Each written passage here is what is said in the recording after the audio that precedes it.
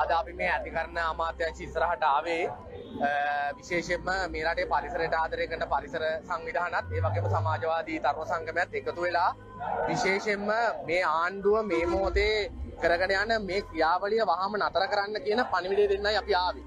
ඔබ දන්නවා මේ මොහොත වෙද්දී එක්ස්ප්‍රස් පර්ල් නෞකාව පිළිබඳ සාකච්ඡාවක් දැන් අපේ රට ඇතුලේ පැන නැගිලා තියෙනවා. ඔබ දන්නවා එක්ස්ප්‍රස් පර්ල් නෞකාව කියලා කියන්නේ ලෝකේත් ලංකාවෙත් දැවැන්තම පාරිසරික විනාශය වෙච්ච සිදුවීම. ඒක නිසා මේ සිදුවීම කියලා කියන්නේ අපේ රටට ස්වභාවික විනාශයක් නම් මේ වෙලා තියෙන මේ සාගර සම්පතට අපේ පරිසර සම්පතට විනාශ වුණේ ඒක අපිට හිතා දා ගන්න පුළුවන්. එහෙම නෙමෙයි අහක යන නයි රෙද්දාසේ දාගන්නවා කියලා ලෝකයේ ඒ කලාපයේ තිබුණු එක වරායක්වත් මේ නැව බාර ගන්න නැතුව තියෙද්දි විශේෂයෙන්ම කෙමිකල් මේ මේ කෙමිකල් වාහනේ වෙනවා ඒ කියන්නේ ලීක් එකක් තියෙනවා කියලා දැන දැන තියෙද්දි තමයි ලංකාවේ කොළඹ වරායට අපේ රටේ පාලකයෝ ගෙන්න ගන්න. අපේ රටේ දූෂිත පාලකයෝ මේක ගෙන්න ගන්න. ඒ ගෙන්නා ගැනීමත් එක්ක තමයි අපේ රටේටත් එවන් ලෝකෙටත් වෙච්ච දැවැන්තම විනාශය වෙලා තියෙන්නේ. අද අපි දන්නවා මේ විනාශය ඇතුලේ දශක ගණනාවකට නැත්තම් පරම්පරා ගණනාවකට වෙච්ච පාරිසරික විනාශයක් අපේ රට වෙලා තියෙනවා. ඒක අපේ සාගර පද්ධතියට, ඒ වගේම සාගර ජීවීන්ට, ඒ වගේම බෙරළ පද්ධතියට දැවැන්ත විනාශයක් වෙලා තියෙනවා. ඒ විනාශයක් වෙලා තියෙන තත්ත්වයක් ඇතුලේ තමයි ඒ සිදුවීම වෙලා. දැන් අදර ගත්තොත් එහම අවුරුදු දෙකකට ආසන්නයි. ඒ සිදුවීම වුණාට පස්සේ ඒ වෙලාව හිටපු පාලකර මොනවද කිව්වේ? ඒ වෙලාව කිව්වේ ඩොලර් නැවක් එන්නේ. ඩොලර් නැවක් ආවේ. ඒ නිසා මේක ලොකු මුදලක් අපි ගන්නවා කිව්වා. සමහර ඇමතිවරු මූද බල්ලා කිව්වා ඒ වෙලාවේ මේ කැස්බෑවන් මිය යද්දි කිව්වා මේ කැස්බෑවන් කියන්නේ වාරකම් කාලෙට කිව්වා.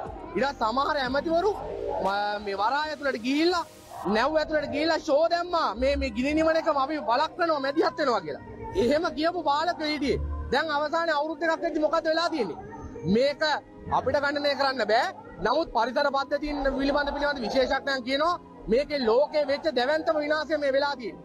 ඒක නිසා ගත්තොත් එම ඩොලර් මිලියන 30කට 40කට වඩා වැඩි විනාශයක් මේක ඇතුලේ වෙලා තියෙනවා කියලා. අපි මීට පෙර අවුරුදු මේ සිදුවීම වුණාට පස්සේ අවුරුදු එකම අවුරුදු එකමාරකට පෙර අපි කියලා මේ පායතන හිටපු ඒ සභාපති හම්බුණා. හම්බුණාට පස්සේ අපි ඇහුවා දැන් මේක ඇතුලේ මොකක්ද වෙන්නේ? අපි කිව්වා දැන් විනාශයක් වෙලා තියෙනවා. දැන් මේකේ වන්දි මුදල ගන්නේ කොහොමද? නෑ නෑ අවුලක් නෑ. ඇමතිවරුත් එක්ක එක්ස්පර්ට් කමිටුවක් දාලා තියෙනවා. මේකට උණු වැඩ කරනවා කියලා කිව්වා. දැන් මොකද වෙලා තියෙන්නේ?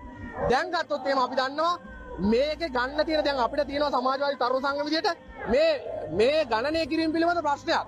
මොකද දැන් මීපා ආයතන විසින් ගණනය කරලා තියෙනවා මේකේ පාඩුව ඩොලර් මිලියන 6.4ක් කියලා. අපිට එක ප්‍රශ්නයක් තියෙනවා. කොහොමද මේක ගණනය කරේ කියලා. ඒක නිසා අපි තරුණ සංගමයක් විදිහට අපි කියනවා වහාම මේ මීපා ආයතන විසින් ඉදිරිපත් කරලා තියෙන මේ ගණනය කිරීම. මේව රහස් ලියවිල් නෙමෙයි වහාම එළිදරව් කරන්න. මේක එළියට දාන්න. අපි තොරතුරු දැන ගැනීම ඇතුලේ කියලා දෙනවා. නමුත් තාම අපිට දීලා නැහැ. නිසා මේක රහස් ලියවිලක් නෙමෙයි මේක දෙන්න කියලා. දෙවැනි කාරණාව තමයි රයිට් කමක් නෑ මේ තියෙන තත්ත්වය ඇතුළේදී මේ එක්ස්පර්ට් කමිටුවේදී පැහැදිලිව හිටපු සභාපතිනිය කිව්වා ඒගොල්ලන්ගේ නිර්දේශය වුණේ ලංකාව ඇතුළේ නඩු දාන්න කියලා. හැබැයි දැන් ලංකාවේ ඉන්න ඇමති මණ්ඩලය අපේ ලංකාවේ මේ රනිල් රාජපක්ෂලා එක්ස්පර්ට් කණ්ඩායම ඒ කියන්නේ ඇමති මණ්ඩලය දැන් තීන්දුව කළා දිනවා අර එක්ස්පර්ට් කණ්ඩායම පැත්තක දාලා ඒගොල්ලෝ තීරණයක් අරගෙන තියෙනවා මේක සිංගප්පූරුවේ නඩු දානවා කියලා. දැන්ට නිවස් එකක් කරලා තියෙනවා සිංගප්පූරුවේ නඩු දාන නඩු දාලා තියෙන්නේ කියලා. ඒකෝට දැන් ප්‍රශ්නේ තියෙන්නේ මොකද්ද? අපි කියන්නේ ඇයි ලංකාවේ නඩු දාන්නේ නැති කියලා. මොකද මෙතන තියෙන පැහැදිලිව නීතිය පිළිබඳ විශේෂඥයන් ඒ වගේම එක්ස්පර්ට් කමිටුව පැහැදිලිව කියලා තියෙනවා ලංකාවේ නඩු දාන්න ඕන කියලා.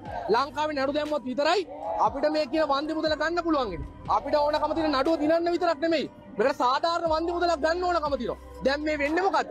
සාමාන්‍ය ජනතාව දන්නවා සාමාන්‍යයෙන් දීලා මිනිස්සෙක් පාරේ ගිහිල්ලා වාහනයක් එලවන් ගිහිල්ලා අපේ ගේට්ටුවක් කඩාගෙන ගේට් කඩාගෙන දැන් වාහනේ ඇතුළට ගිහිල්ලා තියෙනවා. දැන් අපේ ගෙදරට දැවැන්ත විනාශයක් වෙලා තියෙනවා. ඒ විනාශයක් වෙලා තියෙද්දි වාහනේ අයිතිකාරයයි පොලිසිය එකතු වෙලා දැන් මේ ඩීල් එකක් දාලා අපිට හිමි යුතු මුදල අපේ රටට හිමි යුතු මුදල මුන් දෙන්න නැතුව යන්න යන්නේ. ඒක තමයි කරන්නේ. ඒ විතරක් නෙමෙයි මේ අධිකරණ අමාත්‍යවරයා දැන් මීට සතියකට දෙකකට ඉස්සෙල්ලා කිව්වා මේක ඇතුලේ වංචාවක් වෙලා තියෙනවා කියලා. එතකොට ඩොලර් මිලියන් 250ක් account එකට වැල්ලා තියෙනවා කියලා. දැන් ඊයේ නමක් ඉදිරිපත් කරා. එතකොට දැන් මේ අධිකරණ අමාත්‍යවරයෙක්ගේ වගකීමද ඕපදූපාරි නම් කිය කියන එක නෙමෙයි. ඒකට අදුව කෝ කෝ කරන විමර්ශන. කෝ අදාළ කරන පරීක්ෂණ කටයුතු. ඒවා මොකක්වත් නැහැ. ඒක නිසා අපි මේ ඇවිල්ලා තියෙන්නේ අධිකරණ අමාත්‍යංශරත් රනිල් රාජපක්ෂරත් අපේ රටේ පරිසර පද්ධතිය සාගර පද්ධතියත් එක්ක විහිළු කරන්න ලෑස්ති වෙන්න එපා. ඕගොල්ලෝ මේ රට විනාශ කරලා තියෙන්නේ. ඒක නිසා අපේ මුළු රටම උගස් කියලා IMF එකෙන් අපිට හම්බෙන්නේ ඩොලර් 2.9යි. මේ මුදල අපිට හරිය මේ මුදල මේ කියලා තියෙන මුදල අපිට හම්බුනොත් 6.4ක් හම්බ වෙනවා. එහෙම තියෙද්දි තමයි මේකොල මේකද ඩීල් දාන්න යන්නේ. ඒ නිසා අපි කියන වහාම මේ ඩීල් එක එළිතරව් කරන්න. මේ බායතනෙන් ඉදිරිපත් කරලා තියෙන මේ වාර්තාව එළියට දාන්න. ඒ වගේම ම- මැයි මාසේ 19 වෙනිදා පෙර ලංකාවේ අධිකරණ ඇතුලේ වහාම නඩු දාන්න කියන බලපෑම තමයි අපි කරන්නේ. ඒ වෙනුවෙන් අධිකරණ අමාත්‍යත් ඒ වගේම රනිල් රාජපක්ෂත් මේකට අදුව කටයුතු කරන්න කියන බලපෑම තමයි අපි අද අධිකරණ අමාත්‍යංශ ඉදිරියට කරන්නේ.